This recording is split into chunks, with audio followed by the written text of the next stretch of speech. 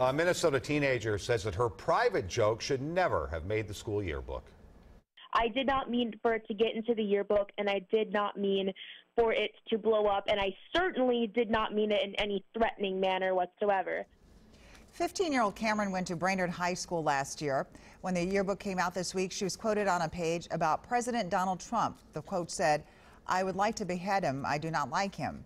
Cameron reached out to WCCO tonight to explain what happened and why she's now scared for her safety. I was so confused because at first I didn't remember ever saying that. 15 year old Cameron says she had no idea a conversation with a classmate last September would lead to nationwide attention. She says a classmate never said she was working for the yearbook when she asked about then candidate Donald Trump. I did not say, I want to behead him. I did not say, I'm going to behead him. I just said, well, I'm sure we all wouldn't mind him being beheaded, something along those lines, but there was never the direct quote, I do not like him. I would like to behead him. Eight months later, that conversation exploded on social media with the help of at least one celebrity. This just all blew up, and Scott Baio, uh, as you know, a very famous actor, um, posted it on Twitter, and he didn't cover my name or picture either.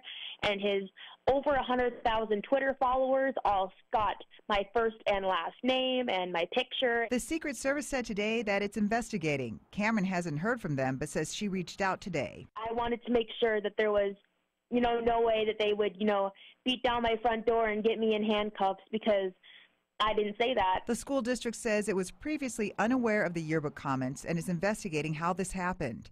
In a statement, the district said it does not support or otherwise endorse any disrespectful or politically based statements that are in the yearbook and apologizes for the statements that were included. Cameron says she's been most scared by the reaction from adults. Not even one student has given me backlash. All adults have said the most terrible, nasty things to me on social media, and it's terrifying.